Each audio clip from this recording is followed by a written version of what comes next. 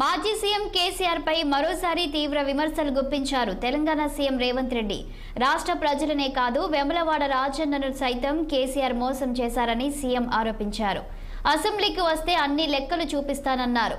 ప్రజాపాలన విజయోత్సవాల నేపథ్యంలో రెండో రోజు వెమలవాడలో ప్రజా సంకల్ప యాత్ర నిర్వహించారు. పట్టణంలో సుమారు ఐదు వందల కోట్ల అభివృద్ధి పనులకు సీఎం శంకుస్థాపన చేశారు. ఈ క్రమంలో గుడి చెరువులో ఏర్పాటు చేసిన బహిరంగ సభలో రేవంత్ రెడ్డి మాట్లాడారు. కరీంనగర్ నుంచి ఎంపీగా పొన్నం ప్రభాకర్ను గెలిపిస్తే తెలంగాణ రాష్ట్రాన్ని తెచ్చారని బండి సంజయ్ను రెండుసార్లు ఎంపీగా గెలిపిస్తే కేంద్ర మంత్రి అయ్యారు తప్ప జిల్లాకు ఏమీ చేయలేదన్నారు. మూడు సార్లు బీఆర్ఎస్ ఎంపీలను గెలిపిస్తే వారు చేసిందేమీ లేదని రేవంత్ రెడ్డి ధ్వజమెత్తారు. అటు బీఆర్ఎస్ బీజేపీ నేతలు సరిగ్గా పనిచేసి ఉంటే సాగునీటి ప్రాజెక్టులు ఎందుకు పెండింగ్లో ఉండేవని సీఎం ప్రశ్నించారు. మిడ్మానేరు నిర్వాసితులు సమస్యలు పరిష్కరిస్తామన్నారు. ఈ నెల ముప్పైన మరోసారి ఇరిగేషన్ మినిస్టర్ ఉత్తమ్ ఇక్కడికి వచ్చి ప్రాజెక్టులపై సమీక్షిస్తారని తెలిపారు.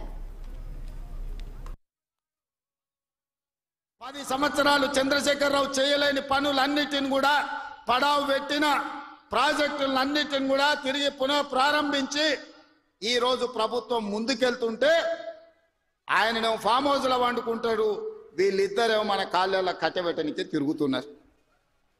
ఏలేశ్వరం పోయినా శనీశ్వరుడు వదలేదు అన్నట్టు ఇవాళ ఓడగొట్టి ఇంట్లో వండబెట్టిన అసెంబ్లీ ఎన్నికల్లో అధికారం పోయింది. పార్లమెంటులో సీట్లన్నీ పోయి గుండు సున్నా వచ్చింది. ఇప్పుడు వాళ్ళకు మెదడే పోయినట్టు అనిపిస్తుంది. అసెంబ్లీ ఎన్నికలలో అధికారం పోయింది. పార్లమెంటులో ఉన్న సీట్లన్నీ పోయినాయి.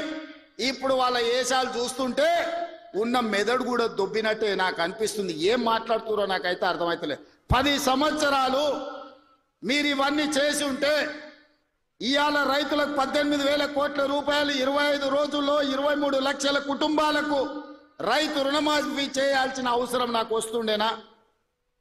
పదేళ్ళలో నువ్వు లక్ష రూపాయలని నాలుగు విడతలని మిత్తి కడతా అని అసలు మిత్తి కలిసి తడిసి మోపెడై రైతులు దేశంలోనే ఆత్మహత్యలలో రెండవ స్థానం తెలంగాణ రాష్ట్రం వచ్చిన సంగతి చంద్రశేఖరరావు గారు మర్చిపోయినట్టున్నాడు.